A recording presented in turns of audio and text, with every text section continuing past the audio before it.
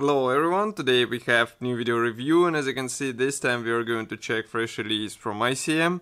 Uh, they molded this kit in 172nd scale as it's written here and it copies MiG-25 RBF, it's Soviet reconnaissance plane and now we have a chance to check commercial samples so it means you get exactly the same kit if you order it from any good model shop. I think Modelimex should have them for sure so if you would like to order it ASAP just go to their website, they will have it available. So, as you can see, that's just another version of the MiG-25 kit. Uh, this time we get it in a small scale, so it will be interesting for those who don't have space for 148 scale kit, and I'm not even mentioning the 132nd scale kit of this aircraft. Nevertheless, um, it is interesting to see what is changed here, what is inside, because you remember we reviewed only several versions, and now let's take a look at this box. So first of all, here is comparison with my hand. It's not that big box, I would say it's a typical size of the box for uh, 172nd scale aircraft kits and also for 135 scale kits from ICM. Then here on the side we have some information about this kit. So there are uh, 139 ports and length of the assembled aircraft will be 315 millimeters. Here you can see also short history note in English and on the other side we can see two profiles for the same marking option which is depicted here on the box art. So now let's open it. Um, the box structure here is typical, so as you can see we have this color printed, uh, let's say cover, and then here you can see the cardboard box which actually protects everything inside. Inside we have um, all sprues packed into the same plastic bag. They're molded out of light gray plastic. Then on the bottom we have assembly manual, but we'll check assembly manual later of course. So we just put this box here and we start with plastic parts. So here we have all gray plastic sprues as well as this transparent one. So just give me a second to open it. Meanwhile, let me remind you that we are still getting money for the new photo and video equipment and you can help us too by pressing the donate button on our website. It is quite easy and safe because it's done via PayPal and of course you will be the one who will decide how much we will get for new photo and video equipment or maybe for another kit um, to be reviewed in our video and also in the article. So the first, let's say, connection between the sprues, here it is. As you can see, um, manufacturer here decided to place the nose cone halves and also some parts for the air intake and also engine nozzles. Note that no, no, nose cone should be glued out of two halves. I am not that happy to see such parts division, even though as far as I remember, there are guiding pins inside, so at least they will help you with alignment. But still you have to be careful while gluing these two parts together, because otherwise you might have the seams in a quite visible area, I would say. And now let's zoom in so that you can see all those parts closer. So we do the zoom section.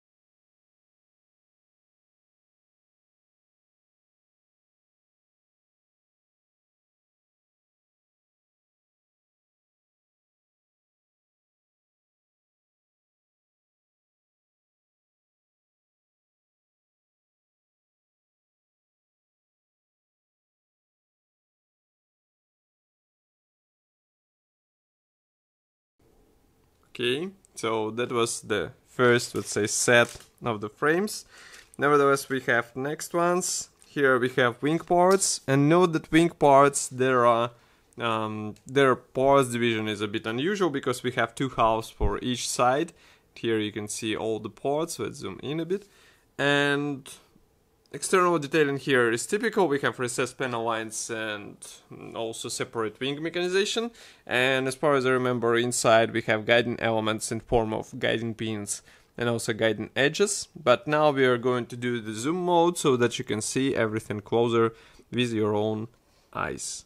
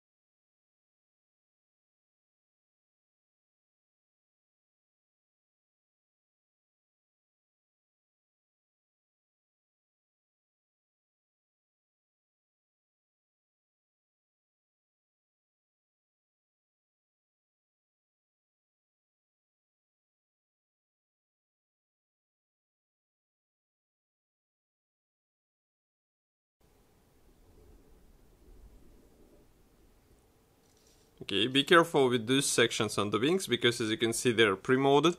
So you will have to separate this house with them already in place. Um, next we have another plastic sprue. This one is dedicated to mix of various parts because here you'll find both external and internal parts. We have here landing gear wheels, for example, engine nozzle, um, but then we have the dashboard, the dashboard coaming, then here we also had somewhere the play parts. Those, for example, are for landing gear parts. So it is mishmash, let's say, of the parts. But now let's do the zoom mode so that you can see all those parts closer. Because some of them are quite interesting.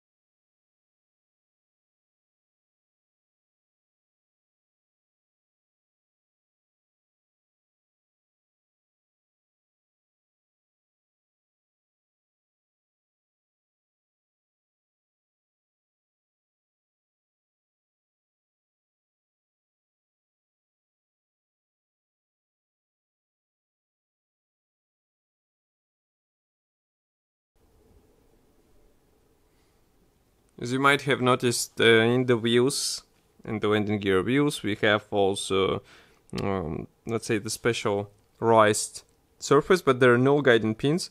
So you have to be careful while combining this, or maybe just search for some aftermarket resin, which will bring you the better detailing as a nice bonus, let's say. Next, we have um, another gray plastic sprue. This one will be slightly bigger. Just let me put the previous one in place. So here it is. I think it should be like this. Here, manufacturer placed uh, fuselage parts and also some of the wing mechanization parts. And as you can see, whole tail segment elements or panels are molded separately and note that tail fins should be glued out of two halves. We have also riveting and recessed panel lines. Riveting can be visible here, for example. Now, then inside you can see here detailing of the wheel wells and also note that air intakes are detailed as well. We have small piece of the plastic, I'm not sure why. Um, nevertheless, molding quality seems to be fine, so let's do the zoom mode so that you can see it with your own eyes. Just give me a second to clean everything from the dust. Okay.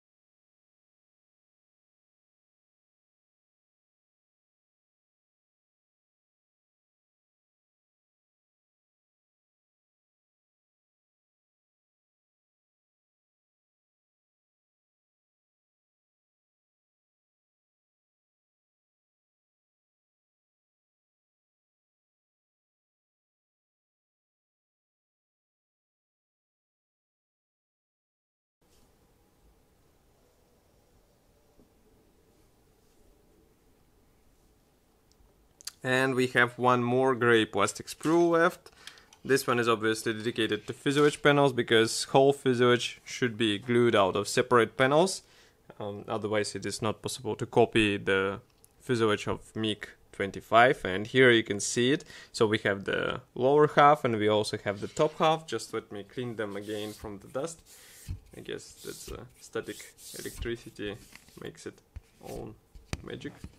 So that's why we just clean a bit them and here you can see them. So external detailing is the same as what we saw on the previous parts so it means recessed panel lines and also riveting. Here you can see parts for the nose section so nose cone will be assembled out of two parts and also the nose section or cockpit section will be also glued out of two parts so be ready for such parts division then from the other side we can see that there are some guiding elements which should help you with alignment. So at least we have this because otherwise it could be even worse. Now let's zoom in and take a look at all those parts.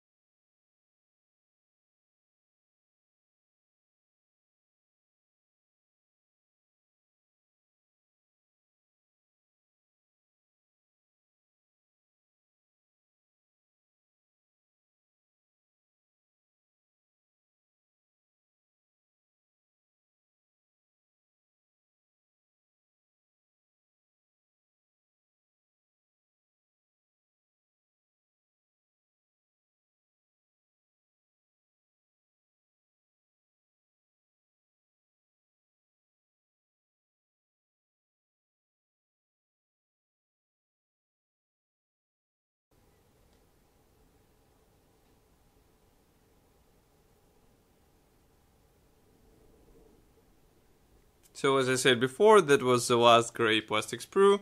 And we have one more. This one is smaller, noticeably smaller than what we saw before. Here you can see that it's a clear plastic sprue. Just give me a second to open it and we will take a closer look. Here, of course, we have canopy parts. Just let me zoom in. Now we focus the camera. So, as I said, we have focus um, on the canopy parts and note that canopy parts are molded like a two-piece assembly, so you will be able to copy the open cockpit on your aircraft, and that's a really valuable feature in such small scale, because not everybody includes uh, two-piece canopy assemblies. Nevertheless, masks are not included here, so you have to be careful while uh, cutting masks for those parts, or maybe search for some aftermarket set, because this aircraft has quite a complex layout of those clear sections. So it's maybe it's better to invest in the clear um, masking set. Okay, next we have assembly manual and I guess there will be also the decals sheet. So here you can see assembly manual. This one is printed in form of this large brochure. We have short history note written in Russian and English, also technical specifications and the paints chart here. Then we turn the page over. Here we have parts map. And note that parts map shows that all those parts will be used. That is quite surprising in my opinion. Here we have first uh, decals sheet. This one is dedicated to stencils. As you can see, amount is quite impressive. All those will have to be applied on the aircraft. But once you apply all of them on your model, it will be a completely different model because now those small decals noticeably change the appearance of your model. Nevertheless, there is also the second decals sheet, which one, um, which is dedicated to main symbols for several marking options. We also have decal for the dashboard, and unfortunately no decals for the seat belts. So either you have to buy the aftermarket set or you will have to do it uh, out of masking tape, for example. Next, we have also another page or another section of the uh, parts map. Note that clear parts won't be used here because those uh, clear sections for the camera were not present on the RBF version. Also, we have some parts not used here. And assembly process starts with side panel for the cockpit, then we continue with wall, and then we install the nose landing gear. As you can see, it will be already fixed in the uh, nose wheel well. So be careful and keep in mind such parts division. Then here we continue with pilot seat assembly and its installation into the cockpit. And maybe some modders would like to replace it with resin, it will be up to you. Here we install this nose section into the special panel which connects everything with air intakes. Here you can see those air intakes being assembled and installed in place from both sides. And then we continue with those large fuselage panels. Here we will have to glue the wheel wells. And again, each wheel well should be glued out of several parts. The same can be said about the engine air intakes. Here you can see their installation and then all those complex assemblies are connected together. That is quite interesting process. I'm not sure how it will work, uh, but from what I saw on the model shows, models look good, so I guess there won't be any difficulty with this. Then here we continue with landing gear legs. We close everything with side panels from both sides. Then here we have the engine nozzles. I'm quite sure that there should be some resin upgrade for this section of the airplane, so if you would like to have better detailing in such small scale, search for some aftermarket resin. But even out of the box kit offering offers really nice um, molded plastic parts. Here we continue with tail fins. So as you remember, each tail fin should be glued out of two hulls, and here we also install the rudders which are also molded separately. Note that here we have option for the uh, the choice between several parts. It will depend on which marking option you choose, so be sure to keep in mind which one you picked for your build. Here we install the main wings. Also note that main wing should be assembled out of one, two, three, four parts. And here we have five, six. These are pylons for missiles, I guess. And next we continue with nose cone. Neck here we install the landing gear doors, landing gear wheels, fuel tank, canopy part, the frontal section together with the target sight, and then we have the openable canopy section and as you can see it can be placed either in open or in closed but in open you have to add one plastic part which was present on the real aircraft. In total you have to do 80 steps. Here you can see picture of the finished aircraft. Then we have the stencil guide and in 172nd scale that will be quite fun to apply all those decals on the aircraft. Uh, here we have first marking option, this one comes from August 2001, surprisingly. Here you can see also German aircraft from 1991 and this one comes from Russia as well, it's 2001. So it will be up to you which one you choose. Obviously this camouflaged version looks really interesting. So if you would like to have uh, something unusual in small scale, it might be uh, you know, let's say engaging option to build. So, of course, this kit is already available. As I said, you can get it in Modelimex web shop for sure. In my opinion, this plastic will be interesting for those who don't have place for 148 scale kit, that's for sure, and those who like Soviet jet aircrafts.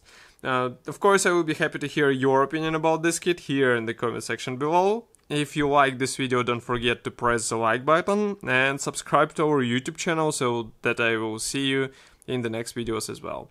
And of course, we see each other in the next video tomorrow. Bye.